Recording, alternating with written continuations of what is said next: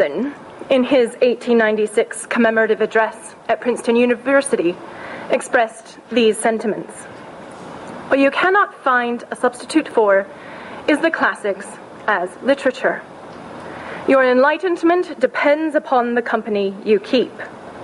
You do not know the world until you know the men who have possessed it and tried its ways before ever you were given your brief run upon it.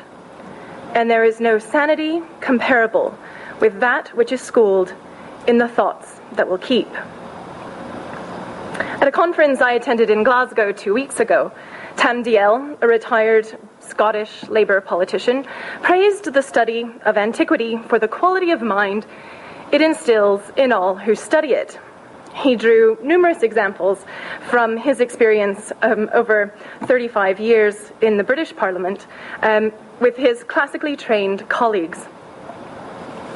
What do these two men one writing and speaking in 1896 and the other in 2009.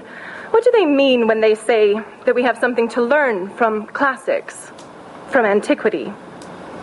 Nowadays, we usually express such sentiments in the language of utility or transferable skills.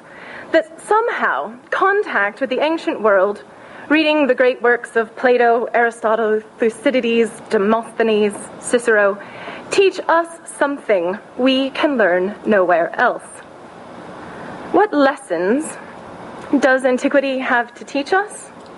We've heard some answers here this morning.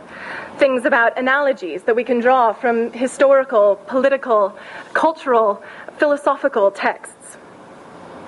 We've talked about role models, characteristics that um, we would like Obama to emulate. But I want to approach this all from a slightly different perspective. In doing so, I turn to a little studied dialogue of Plato, a very short one called the Hippias Minor.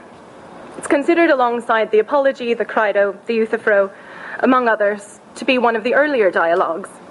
Like them, it ends in aporia, a state of perplexity, only this time it is Socrates himself who is perplexed when he comes to the end of his own argument and finds that he has argued that the intentional teller of lies is a better man than the one who tells falsehoods involuntarily.